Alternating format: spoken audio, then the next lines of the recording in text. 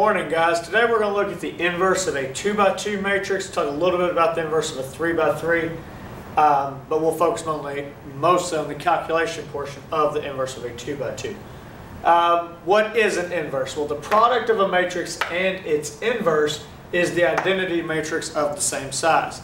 Um, so if I have a 2 by 2 matrix times its inverse, which is also 2 by 2, we'll get the 2 by 2 identity. So that's what this uh, is saying. An inverse matrix is like a multiplicative inverse for regular numbers. Uh, 2 times 1 half is 1 because 1 half is the, or yeah, is the multiplicative inverse of 2. That's what an inverse does. The product of a number and its inverse gives you the identity for talking multiplicative. Um, the additive inverse, you know, uh, 3 plus negative 3 is 0. So an inverse is anything that you combine using the appropriate operation to result in the appropriate identity. Multiplicative inverses give you 1, or the identity matrix if we're talking about matrices. Additive inverses in numbers give you 0, or the 0 matrix if you're talking about matrices. So that's what an, an inverse is. A Couple of notes, only square matrices have inverses, uh, and that comes back to how we actually calculate a matrix, or calculate an inverse matrix. And only matrices with determinants not equal to zero have an inverse. So since we know only square matrices have a determinant, if the determinant has to be not zero, then obviously it can only work for square matrices. So let's just look at how we know something's an inverse. When the product of two matrices are the identity, then those matrices are inverses of each other. So let's go through and just check to see that these two matrices are inverses of, each other. A couple of notation things. If this was matrix A, we're checking to see that this is matrix A inverse, that negative 1 exponent. Remember, negative 1 exponent on a number means uh, reciprocal, so the multiplicative inverse. Same symbol right there. That's our inverse notation. It doesn't do anything. It just tells us we're working with the inverse. So let's go through and let's multiply. Rows by columns. So a quick review. 11 fifteenths times 1. 2 times 1 third. It's 2 thirds. Nope. Let's try that again. 11 fifteenths times 1, 1 third times 0, negative 4 fifteenths times negative 1. Uh, going to column 2. So 11 fifteenths times 2, 1 third times negative 2, negative 4 fifteenths times 3. Uh, going through column 3, negative 33 fifteenths.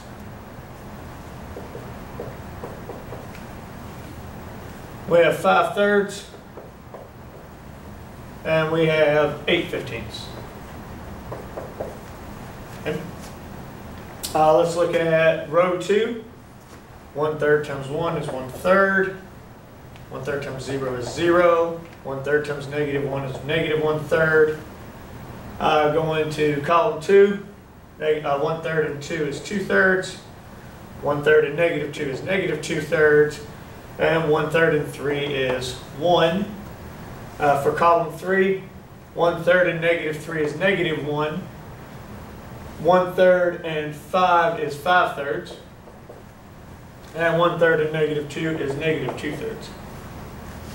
For row 3, 2 fifteenths and 1 is 2 fifteenths.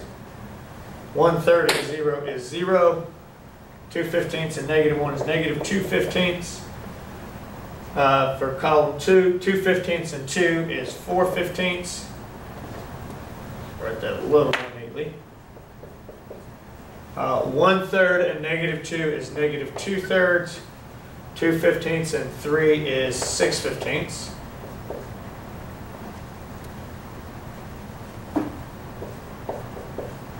I have for column 3, 2 fifteenths and negative 3 is negative 6 fifteenths. 1 third and 5 is 5 thirds. 2 fifteenths and negative 2 is negative 4 fifteenths. So going through, that's our product of the two. Let's check and see if we get the identity matrix. Uh, 11 fifteenths and 4 fifteenths is 15 fifteenths, which is 1. 22 fifteenths and 12 fifteenths Yep. 22 fifteenths and 12 fifteenths should be 34 fifteenths, which is not giving us what we're supposed to, so what did we mess up on? 22, negative 2 thirds, negative 12 fifteenths. Why didn't somebody say something? So let's try this again. 22 fifteenths minus 12 fifteenths is going to give us 10 fifteenths. 10 fifteenths minus 2 thirds, which is 10 fifteenths, is 0. Uh, for the next part, 33 fifteenths, so 5 thirds is 25 fifteenths, plus 8 fifteenths is 33, so negative 33 plus 33 fifteenths is 0 fifteenths. Uh, 1 third minus 1 third is 0. 2 thirds minus 2 thirds is 0, plus 1 is 1. Over here, negative 1 and negative 2 thirds is negative 5 thirds. Negative 5 thirds plus 5 thirds is 0. 2 fifteenths minus 2 fifteenths is 0. 4 fifteenths and 6 fifteenths is 10 fifteenths. 10 fifteenths minus 2 thirds. 2 thirds is 10 fifteenths. So that's 0.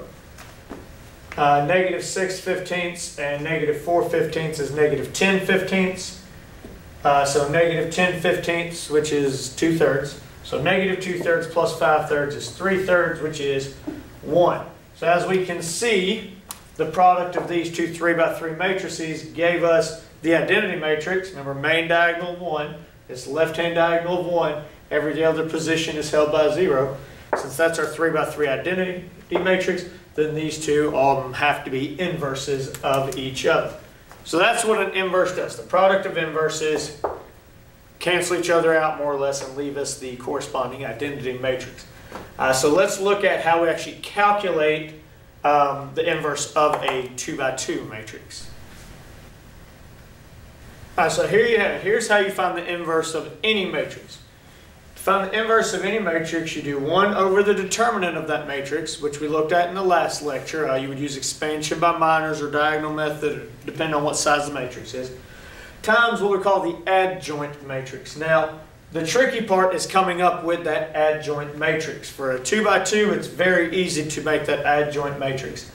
Um, for larger matrices, the process is always the same, it's actually the process we use to get the adjoint in the 2 by 2 but because they have so many values, it gets really hairy, really nasty.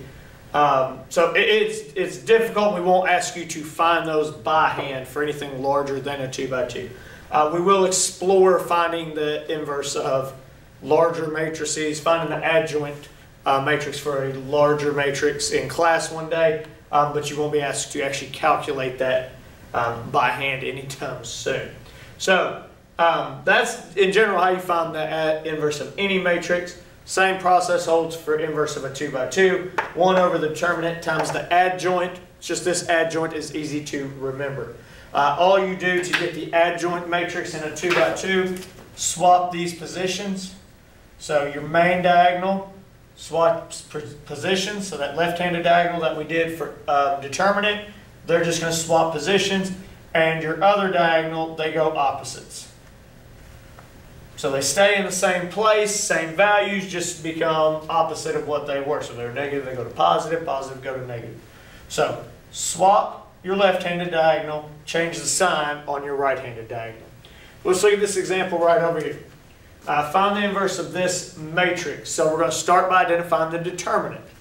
So we want the determinant of matrix A. We know we do that by 2 times 3, which is 6, minus 4 times 1, which is 4.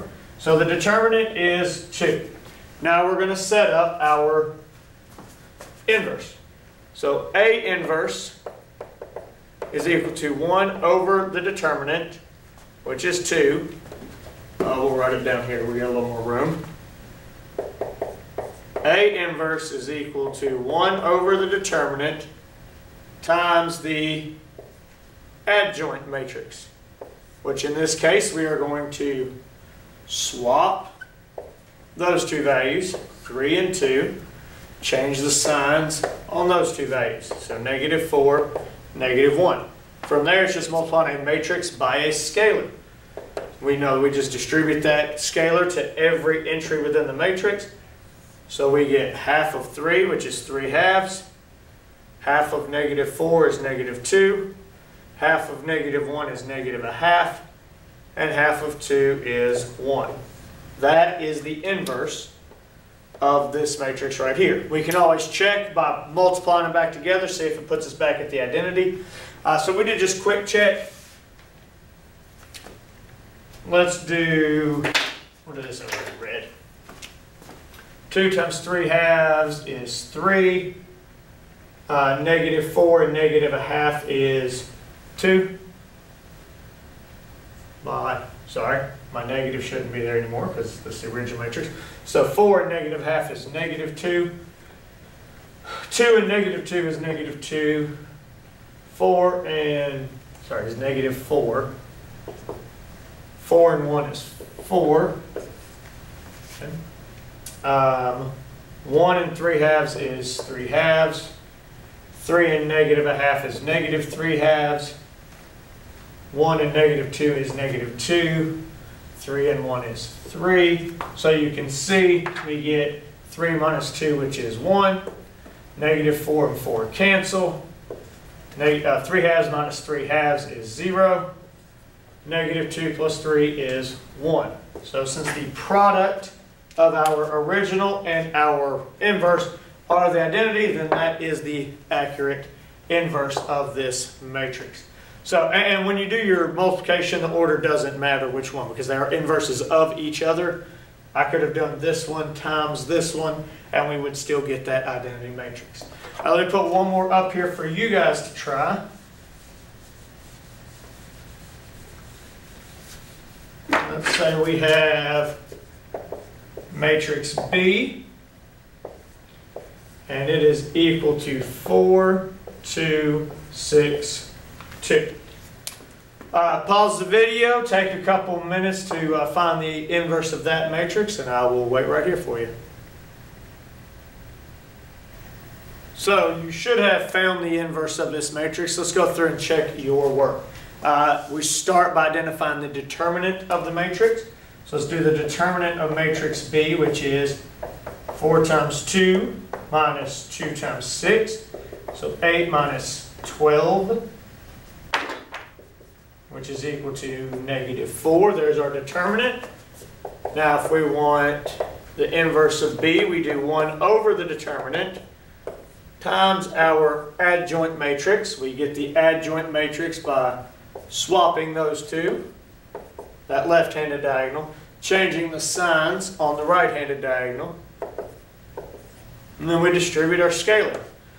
Negative one-fourth of 2 is negative a half. Negative one-fourth of negative 2 is positive a half. Uh, negative one-fourth of negative 6 is 3 halves. And negative one-fourth of 4 is negative 1. Uh, go through, you can check, multiply this matrix times that matrix. You'll see that they are inverses of each other. And that's it. Now, earlier we made comment that if a, if a matrix has a determinant that's equal to zero, it does not have an inverse. Well, it comes back to right here. Whenever you find an inverse, or to find an inverse, you do 1 over the determinant times this adjoint matrix. Well, if the determinant is zero, one over the determinant is undefined. So since 1 over the determinant is undefined, if the, sorry, 1 over the determinant is undefined, then we say that the inverse of this matrix is undefined. We cannot find the inverse of a matrix if we don't have an actual number for the determinant to be able to multiply by the adjoint matrix. So as you're going through and finding inverses, occasionally you'll come across a determinant that's equal to zero, in that case, we don't have an inverse for that specific type of matrix. There's nothing, there is no matrix that we can multiply that original matrix by that would give us the identity matrix because they do have a determinant of zero. Uh, when we get into solving um, certain things using inverse matrices and other types of matrix manipulations, um, we'll see what that determinant of zero and that no inverse implies. Uh, it is very important. It just lets us know what type of group or what type of things we're working with. Um, but it does come up sometimes, so don't be thrown off. It is possible. All we simply say is if the determinant is zero, then the inverse is not defined or undefined. Um, that's it for inverses of a 2 by 2 a little bit of a talk about inverses of a 3 by 3 and larger. Uh, again, the 3 by 3 will go, uh, we'll get to explore that in class um, one day, um, coming up very shortly. But that's it, um, and I will see you in class tomorrow, guys.